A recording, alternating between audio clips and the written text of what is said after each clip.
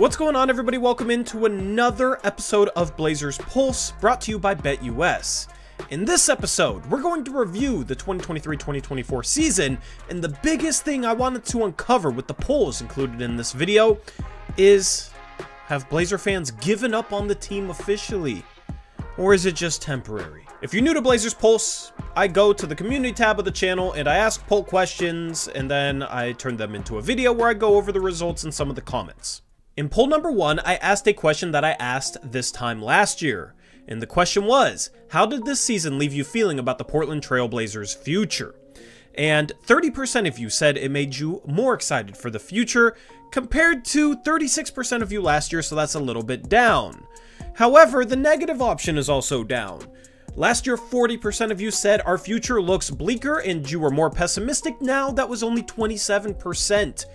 The biggest change, 42% of you said this season didn't change anything for you. Last year, that was 25%. A couple of comments that were left on this poll. John Nash says, only new ownership and management will change my outlook of this team. And I'll be honest, I kind of share that same sentiment, and I would love a new owner, a new general manager, a new head coach, a new everything. I think it's time to just wash this franchise clean and start from the top down with new ownership. And then we had a comment from Jonathan Evers who said, I don't see a future superstar on this roster. Shai is the only one I see having a shot, and the Spurs and Thunder will be unstoppable for at least a decade. Portland has maybe the fifth best young core plus future assets in the West. Can't say I'm feeling good about it. Now, we've seen teams that look like they'll be unstoppable dynasties, and it's really hard to maintain that level of success. I know with Wemby, right? I mean, he's going to be phenomenal. Um, but, I, I mean, OKC barely beat the Pelicans in their first game of the playoffs. I don't know if OKC will quite be to that level. They have a lot of picks. It's going to be teams that the Blazers are going to have to beat, but um, any given year, you know, any team can win, and uh, the NBA is a little bit unpredictable uh, from like a five-year to five-year basis. Hopefully in the next five years, the Blazers can finally make some noise. For poll number two, I asked you guys, how are you feeling about this year's NBA playoffs? And I also asked you this question this time last year. And the results were wildly different. 60% of you said you're excited for this year's playoffs and that this year's postseason will be a lot of fun only 10% of you said that last year. Last year I asked it with the caveat like, how are you feeling with the Blazers not participating? And this option was worded like, you're more excited, uh, it's going to be stress-free because the Blazers aren't in it. Um, but it's wild to see the difference in votes here. 26% of you said you were indifferent compared to 34% last year, and only 15% of you had the negative option, which I did change up. So it wasn't exactly the same poll, but at this point, I figured why not go with an option that says playoffs? What's playoffs? Because it's been a minute since the Blazers have been there. 56% of you last year voted that you weren't excited for the NBA playoffs. So uh, the results here were much, much different.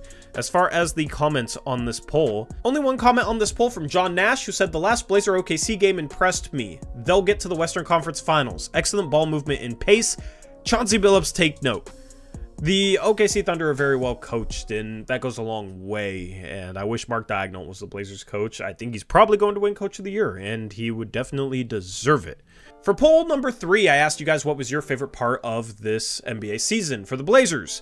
And I ask this every year. Of course, every year it changes because different things go on each season. And in the past, I had always put positive options. I couldn't think of enough positive options to put on this poll, I'll be honest. So there was a couple negative options on this poll as well. Uh, the number one favorite part of the season for people, barely 36% of the vote, was Scoot's late season improvements. Scoot putting together some good games, and that didn't really surprise me that that led in this poll, considering a lot rides on Scoot. Uh, we need him to pan out, so the fact that he was showing flashes after struggling for the better part of the season was definitely my favorite part of the season as well, although the second option is right up there with it, and that's because I went to this game, and that was Dame's return and the Blazers beating the Bucks at home, their only nationally televised game of the entire season, Anfernee Simons hitting a game winner against Dame. That was pretty cool. Of course, you had the whole tribute video stuff and all of that, welcoming, welcoming Dame back to Portland. Uh, he just had a phenomenal game one for the Bucks, so shout out to him. Uh, those were my top two favorite moments. But I do have fond memories of honestly all of these Okay, Sharpe's overtime dominance versus Memphis got 15% of the vote, and that was the first play-in tournament game, and that was Sharpe uh, having that block to send it to overtime, and then uh, having some really impressive offensive moments in that overtime. And uh, there were stretches this season where Sharpe looked like a legitimate star, and that the end of that game was one of those. And hopefully he can stay healthy next year. I put an option called "it ending." Your favorite part of the season was it ending? 35% of you said yes. And I'm also glad the season's over. I'm ready for the offseason. I'm ready to uh, see what the Blazers do in June. Of course, we got the lottery coming up in May. I'm excited for that. And then I put the Blazers 60 point losses. That only got 2% of the vote, but the reason why I put that was because after the new year, I think our two best post game streams were when the Blazers lost by 60. So I honestly kind of enjoyed the Blazers losing by 60 because the streams popped off and I felt completely justified in just ranting about the team, which is always healthy, right? So I did enjoy those. There was a lot of comments on this poll. Let's jump into them. Uh, I'm just going to throw them all up in one sheet. Uh, Lucas bought a Shai jersey. You got Take, who said Scoot's improvement is the most important thing on this team. I absolutely agree. Jonathan Evers says, enjoyed watching Sharpe play when he was available, but I've never been more excited for a season to end than this one. I think a lot of people share that sentiment. Champ says, I'm just trying to get to the draft slash draft lottery. Thankfully, the lottery is only three weeks away, which is crazy. Samson said, definitely it ending it's hard to watch a team you know will lose most of their games. And Villy F20 said, honestly, Ayton playing better because he's who I've been worried most about. Ayton playing better was definitely a fun stretch. It wasn't really like moments though, uh, so it was, was kind of hard to put. Like Scoot's late season improvements were were moments, were good moments um, and was kind of like on a game to game basis where Ayton, his improvement was like the whole second half of the year. Uh, but his improvement was definitely very, very good. And then the final comment on this poll was Nate J. Dub, who said Sharpe's game against Memphis won me $200. Hashtag BetUS, which is a perfect segue for our sponsor. You can get in on the NBA playoffs with BetUS with their phenomenal promotional offer. They're offering you three 125% deposit matches on your first three deposits up to $2,500 with the promo code JOIN125. And BetUS is a phenomenal sportsbook as they offer you 24-7 customer service and 24-hour payouts.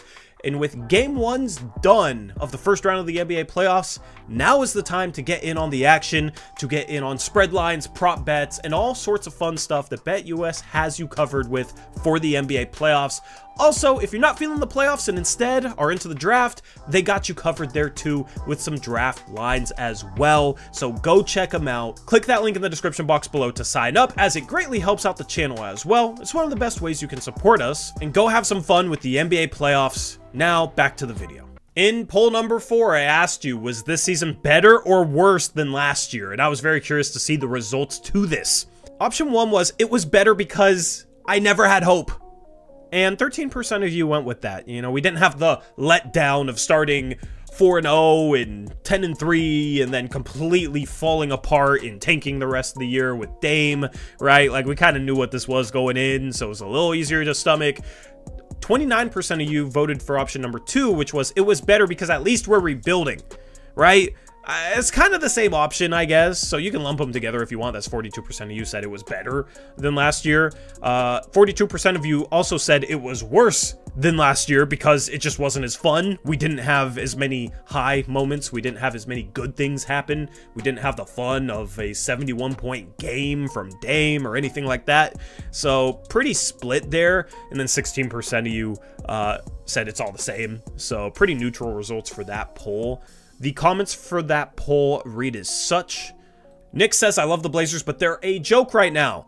Todd says, I said at the beginning of the season, 20 wins max. They got 21, exceeded my rock bottom expectations. And you can pause to read the last comment, but Sam says it's hard to say this year is better than last year because last year we had Dame and he gave us a chance. Turok says Blazer basketball is screwed until the team sold. I know a ton of fans share that sentiment. John Nash says, read the ESPN Timberwolves sale failure article, and it some perspective about what Jody and Bert are thinking towards uh, about ownership strategy. And yeah, I don't think they're going to sell the team anytime soon, unfortunately. Uh, I wish they would. And then Zach Landia, shout out to him for being a member and a mod. He says, my answer should be that it was better because even though it was less entertaining, at least we chose the rebuilding direction.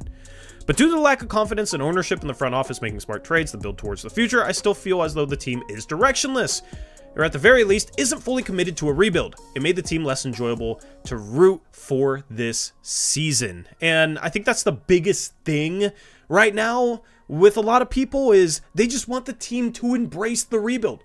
They chose this route when they drafted a six foot three, 19 year old point guard while trying to win now around Dame, even though they didn't make a single trade all offseason until Dame requested out, and they didn't make a single signing all offseason except for Moses freaking Brown, who's like now the fourth, fifth best center on this team. I don't even know. I can't even keep track that's what they did around Dame. They chose the rebuild route, but they still got Brogdon and Robert Williams and Jerami Grant. And for me, I would rather just get draft picks for those guys, continue to stockpile assets, continue to go all in on the youth movement, bring in a couple of veterans that are maybe eighth, ninth men type of guys, or they don't even have to play, right? You can have veteran mentorship without guys that actually have to see the floor. Damian Lillard credited Earl Watson a ton with veteran mentorship early on in Dame's career, and Earl Watson barely played. So uh, I think a lot of fans share that sentiment. A lot of fans want to keep the vets. A lot of fans even want to trade a guy like Ant to keep a guy like Brogdon, which doesn't really make sense.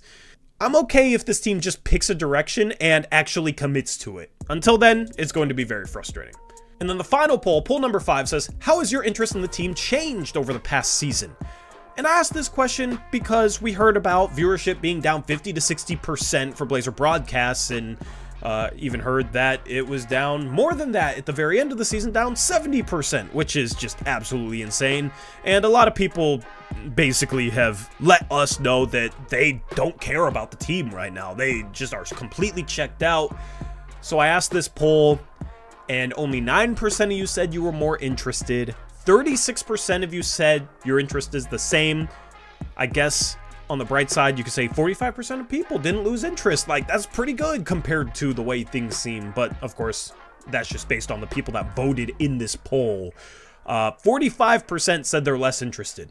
And 10% said they left with Dame. Like, they're just, they're done, right? They're Bucks fans now, I guess, or whatever.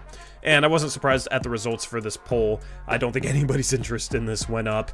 I think, you know, if the Blazers get a really fun young guy like an Alex Sarr, then next year uh, might be a little bit different. And that's all we can hope for at this point the comments for this poll. We had a few. Shout out to Dirty Blazers fan. Says, loved watching Scoot, Toumani, Chris, Ayton build chemistry together. Scoot will be a two-way star once he stops fumbling over his feet and the basketball. Yeah, it's pretty important in basketball and in other sports to not fumble. Shout out to Min Mom, who says, Sorry guys, I always liked prepping for the draft in past years. This year I don't care at all. I don't like Cronin. Not a fan of Chauncey either, really. Takes the fun out of it for me. I feel that. This year's draft is fun, though. It's not the best draft, but there's a lot of intriguing storylines, and it's just going to be complete chaos this year, and I kind of like chaos. I'm looking forward to the chaos of this year's draft, and then, and then next year's draft is really, really good. So, uh, looking forward to just the next year starting around draft time up until next year's draft. I think it should be better than this past year was. And then shout out to Take, who says this past season was not fun at all, but I am really looking forward to seeing Shai and Scoot in the starting lineup and develop to be the most scary backcourt combo. Yeah, that backcourt combo would be a lot of fun. We'll see if they start next year, and or if one comes off the bench because Ant's starting, and they don't want to start all three guards, and they want to start Toumani at the three, which, uh, I don't know. I'm kind of okay with Toumani starting. I love Toumani.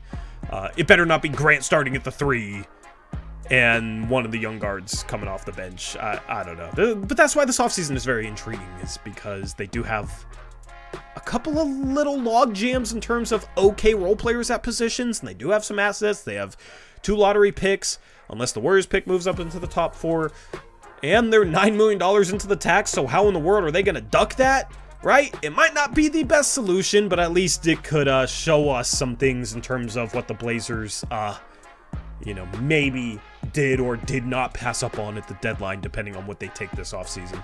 Uh, this offseason has a ton of storylines, so hopefully you guys are invested in it. I know I am. And with that being said, that's a wrap for this episode of Blazers Pulse. Hopefully you enjoyed, and shout out to BetUS once again for sponsoring the video. Make sure to get on in on that NBA playoff action with that link down in the description box below. And with that being said, I'm out of here. I'll catch you next time. Until then, as always, peace out. Go Blazers.